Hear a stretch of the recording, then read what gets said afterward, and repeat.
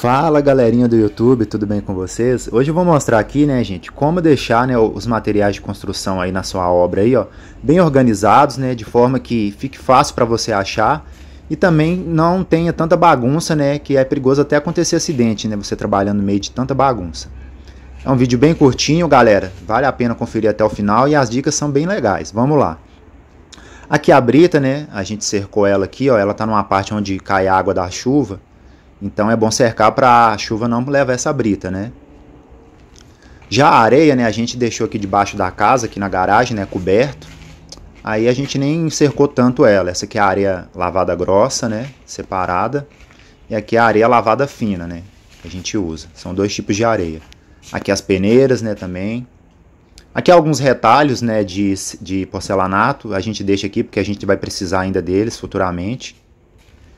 E aqui, né, o cimento, né, todo mundo sabe que cimento não pode ficar direto no chão, né, nem encostado na parede. Aí a gente fez aí, ó, essa engenhoca aí, né, colocou uns tijolos e uma tábua em cima para colocar aí o cimento, ó.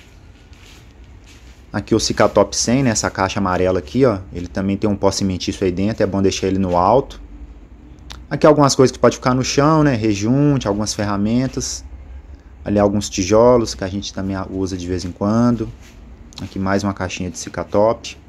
Então, galera, já peço aquele like aí esperto, gente. Vamos deixar o like no vídeo. Muita gente esquece, né, e não deixa o like.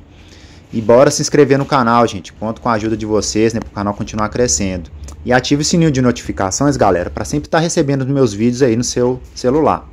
E dúvidas, só usar os comentários. Estou sempre pronto, né, a ajudar vocês.